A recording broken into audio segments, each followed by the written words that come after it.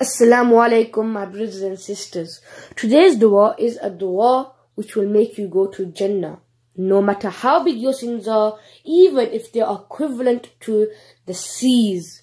Subhanallah, subhanallah.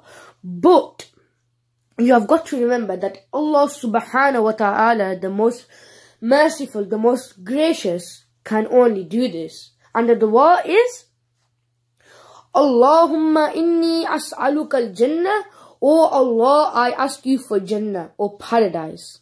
If you say this dua three times, Jannah itself will say, O Allah, admit him to Jannah. This dua is short, but even if you have sins the equivalent of the seas, you will go to Jannah, inshallah.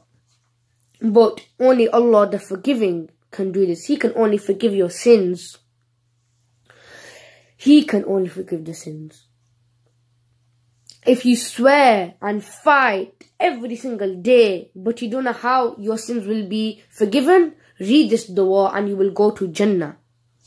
This is mentioned in Prophet Muhammad sallallahu alaihi wasallam's hadith. Thank you for watching.